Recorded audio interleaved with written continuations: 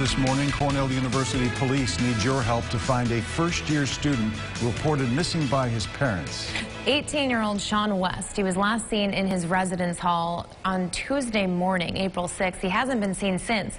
Sean is 5'11", weighs 160 pounds with black hair and brown eyes. There's no word on what he might have been wearing at the time of his disappearance, but if you've seen him, if you know where he is, look at your screen. It's Sean West. You're asked to please call Cornell University Police. The number is 607-255-1111. Police agencies are on the lookout for this man for much different reasons. 32-year-old Matthew Perry is considered armed, dangerous, and suicidal.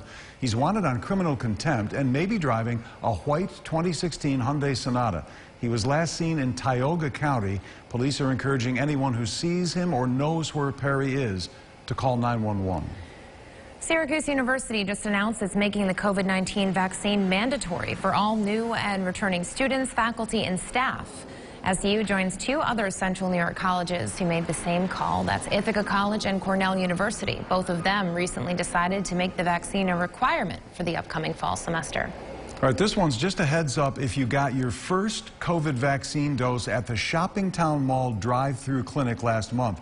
Because of the chance now for rain early next week, next Mondays and Tuesdays second shot clinics will be held at the Oncenter in downtown Syracuse. Again, these clinics are on Monday, April 12th and Tuesday the 13th for second doses if you got your first one at Shoppingtown.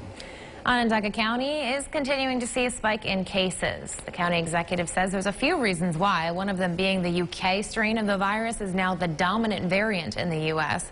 Another reason, nearly 80% of cases here are in people under 40 years of age. 10% of new cases are also coming from travel.